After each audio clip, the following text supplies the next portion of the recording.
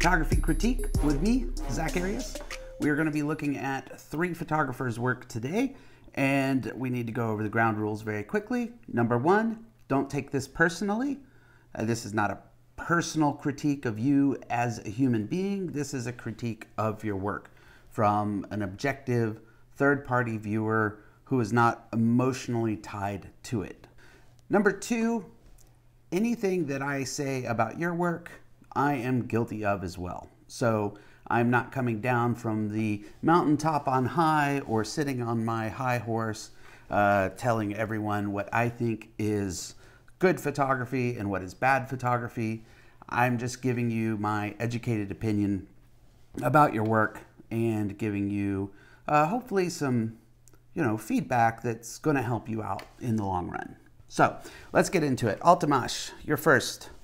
Uh, Altamash is a commercial and editorial photographer in Dubai. I know the man, he's a good guy. So we're looking at your front page here, Altamash, and there's a lot of work. Uh, when I click on one of these, it ends up telling me that there are 71 pictures in this first gallery. So my first thing is there's just too much going on here. I think this could be culled down, edited down. Also, I'm more of a fan of seeing larger thumbnails on a page like this. It's really hard to take in. Um, there's times when you need to look at a lot of thumbnails on the page at once.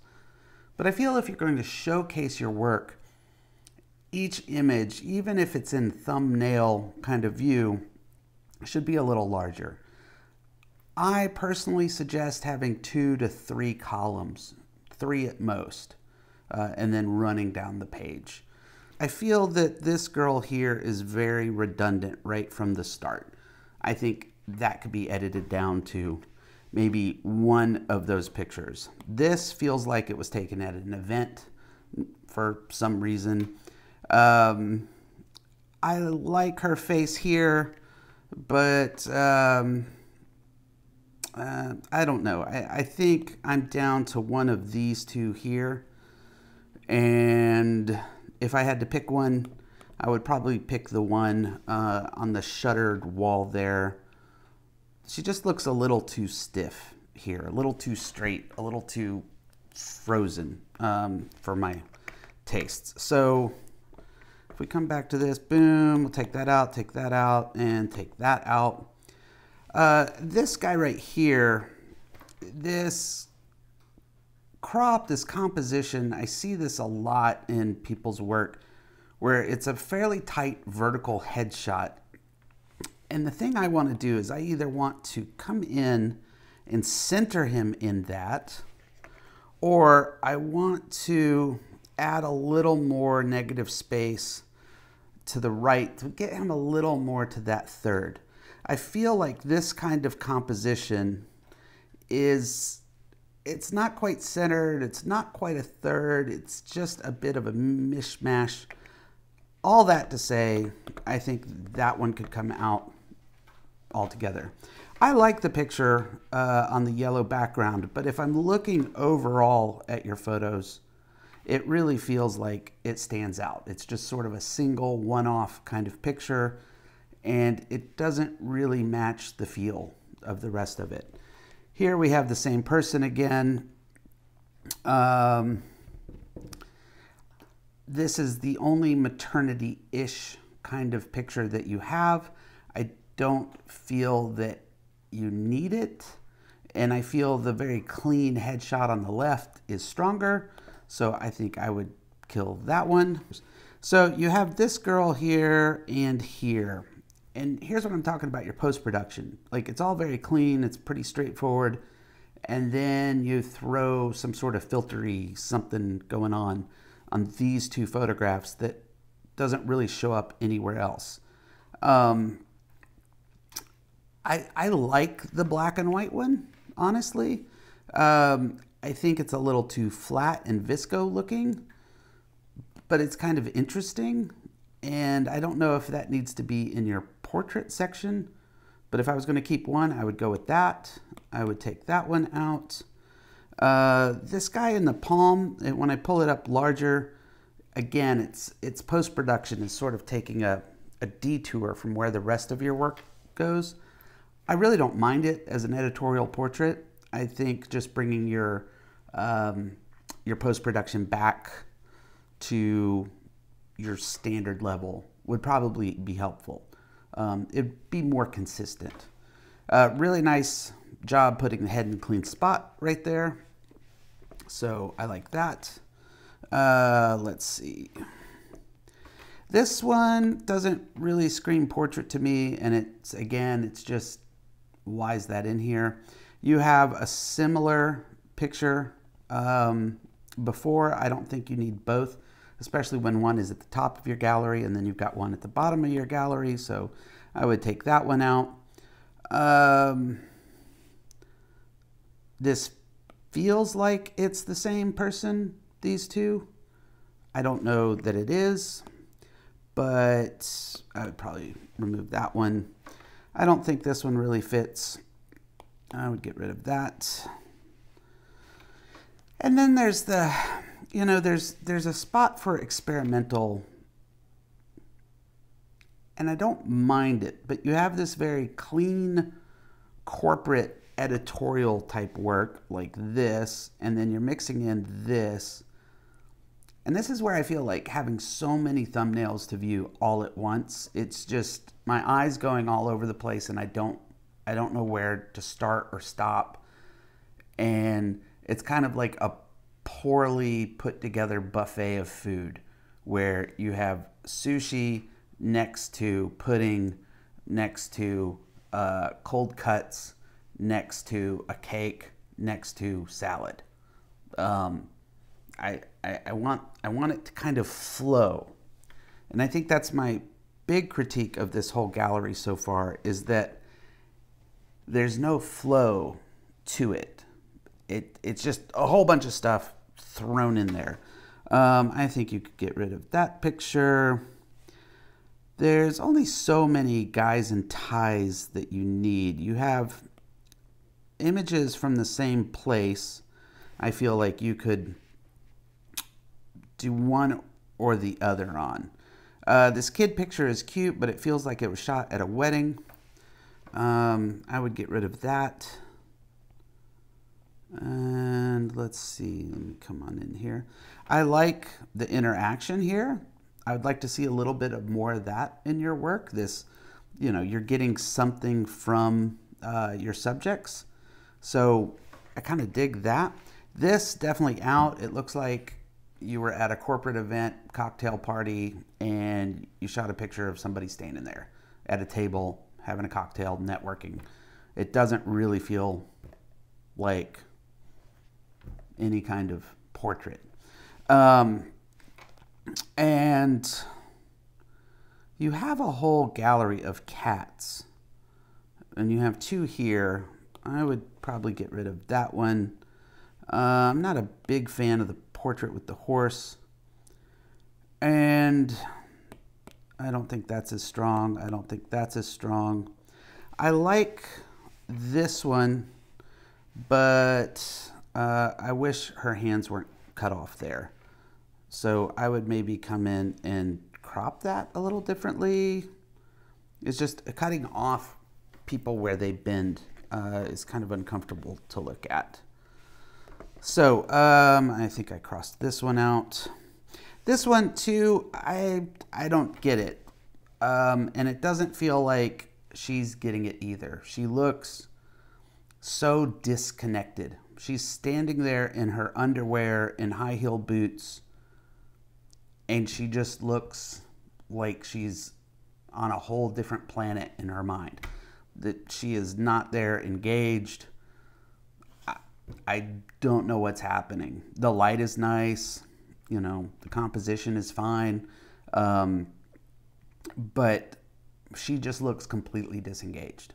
And so I would get rid of that one.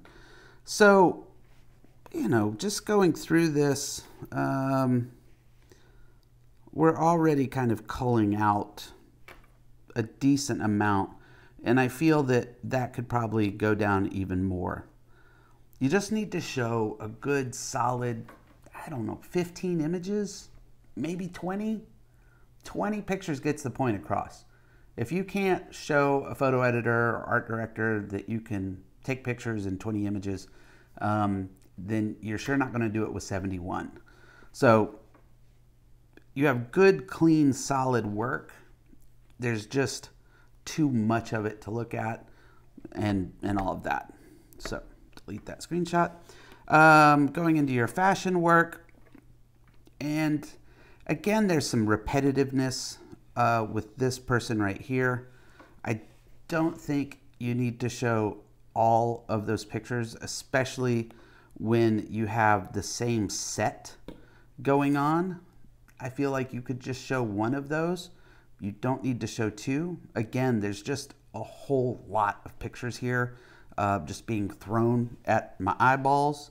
Um, I feel like these could go. I feel like that could go. I feel like even that one could go. I would go with one of just the ones in the white dress. I love this picture. And see, this is the problem with this kind of format on your website is that picture is really nice. I really like that.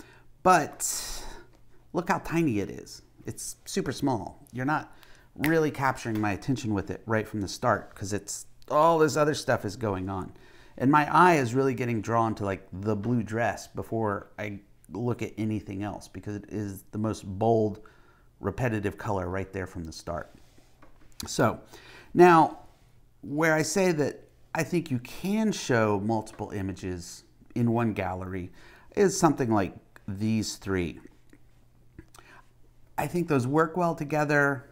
I think that shows, yes, you are doing something different with your color, but it works with it. I would get rid of this oddball over here that should be with it, but it's not.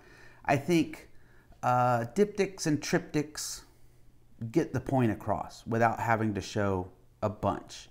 So these three running together seems to make sense to me. And then when you have this one over here and it's tiny and small and just stuck off to the left and it's being interrupted by something completely different, it's, it's just a mishmash. Mishmash. I don't understand what is happening with this painting here in the shot. It, it makes no damn sense at all. This girl um, standing there, half clothed with a painting. Like, I don't know. Out. Out, out, out. Same as that. That one's out too. Um, all the stuff on white is really nice and clean. I don't think you need that. Um, post-production technique, that sepia-ish tone, when none of the rest of your work has that. I think it could just be a clean beauty shot all by itself. So I would kill that. I don't know about these, um, these like fashion show images. They don't really go with the rest. You have this other gallery, I think it's called uh, Backstage or something like that. I think these would fit better into that gallery than in this one. So I would maybe take those out. Um, again, here, these three, uh, I'd maybe show one of them. Um, and here, I would show one of them. This, let's get rid of some of this. Hold on. That, that out. That one was out. Um, these I don't mind running together. They have a nice consistent look. The background changes up nicely. I think, again, is sort of a triptych. Those work together. I don't think you need that one or that one. Um, and I like, I I like photo aware pictures, but you had one in your portrait gallery of her holding a guitar, and now she's here being a fashion model. Um, and it's not necessarily like it's, it doesn't really hold up to the rest of everything you shoot. I would get rid of those. Um, And see here again, this guy, and then these are off over here on their own, and and they don't need to be. Um, you pick one and maybe get rid of the others. The lighting on that one's not very great.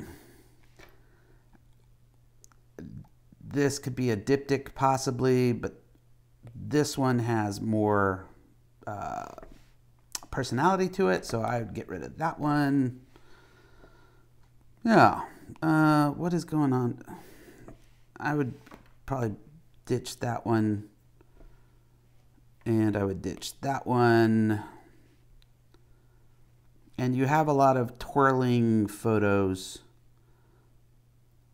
So maybe we could get rid of that one.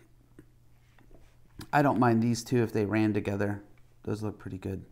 This one is just a little too J.C. Penney catalog. Um, you don't need that so much. This one's kind of overpropped. I don't really care for that one too much. Uh, yeah, so I think right there that starts to clean things up quite a bit. Um, so, wow, that looks horrible, doesn't it? Just cutting your heart out, leaving it on the floor, all over the place. For your portraits, you know, they're they're cute, cute-ish. A lot of them seem to be street cats. I really like this one a lot. It's got kind of a Salvador Dali sort of feel to it. Um, it makes me stop and look at it. Uh, you know, I mean, they're cute, but like this kind of stuff just looks like you went to a park and took a picture of a dog. Um, it's not really like grabbing me like this one would. It feels more like you're a professional photographer and you are doing this. I, I don't know if you get a lot of work photographing uh, pets. I do know that you love cats. I, I know your love for cats. Um, but I'm not sure you need a dedicated gallery to it. And it's it's not a particularly super strong gallery. Like, oh my god, I love your pet. Look at all of these pet pictures, right? Like these are awesome. It's not quite that. Um, I think of talking. Um, Let me find her website. Yes. So, like, Elke's work, I mean, when I think pet photography, lately I've been thinking of her photography. Her work is really clean, her work just pops, uh, it's got a very distinctive style, and uh, it's, I could just sit here and look at all of these pictures and be like, oh, I love all these cats and dogs. They're so great. If I wanted someone to shoot a portrait of one of my uh, pets, I would want it like this. So I'm not saying that you have to go and photograph portraits like this to be successful or good or whatever. But when I'm looking at these kind of pictures, it, I'm I'm not getting that same kind of punch and feel and looking at this gallery. So either maybe concentrate on just street cats like the street cats of Dubai and that could be an interesting gallery all on its own or focus on the studio side of it but it again it's just a big mishmash and I don't think you need it. Uh, hotel work is pretty clean. Um, I don't really have anything good or bad to say about that. Uh, your architecture stuff is again super clean. And if you look like through your architecture stuff, you'll see a very consistent style of post production. And that's really nice. When I get to your portraits, it's sort of all over the place. And I think you need to bring that back together. Uh, weddings, weddings, it's, I, I can't, it's just, it's too much. It's like looking at this wedding gallery feels like 50 people all screaming my name at the same time. And I'm trying to figure out who I need to talk to. Um, it's just, there's just so much happening all over the place. That all said, I really do love this picture. Like, I love that picture. That's a really great picture. I don't know if it needs all of that kind of reverse vignette on it. I think that's kind of pulling away. I do like the tone of the color, but I just love that portrait uh, right there. And I, I think if you backed half of that post-production off of it, it would be even stronger. Um, and lastly, if we just look real quick at the backstage, here you're doing a whole lot of whatever this hazy, flary kind of stuff is. It kind of works, um, but it's not consistent. It, what is going on? Oh my God. Somebody just shoot me. I would, what is happening? That's a lot of remote gear right there. Um, I do like this gallery. It's interesting, but I don't know if you need this weird Gaussian whatever is happening um, to make it more interesting. And this is where I think those black and white catwalk pictures. Yeah, see, you already have catwalk pictures in here. So I would take those out of your other gallery and put them in. And again, I would call the hell out of this. You don't need this many pictures. Uh, yeah. But I mean, your work is good. You're a great, solid photographer. You know what you're doing. I, I can see that I could send you on assignment and you would be able to handle the assignment and deliver back to me um, a set of good usable pictures. I feel like I would need to give you extra direction to make sure I get the post-production look I want since I feel like I'm not sure what I would be getting otherwise. Does that make sense? All right. Thank you, sir, for sending in your work. All right, let's move on to Nina. Well, Altamash, at least you'll uh, appreciate the cat being here. You wanna you wanna take a look at his his portraits? What is all over your face? You're a mess. Yeah. What do you think? What do you think of Altamash's portraits? Look, lots of cats. He's not even interested.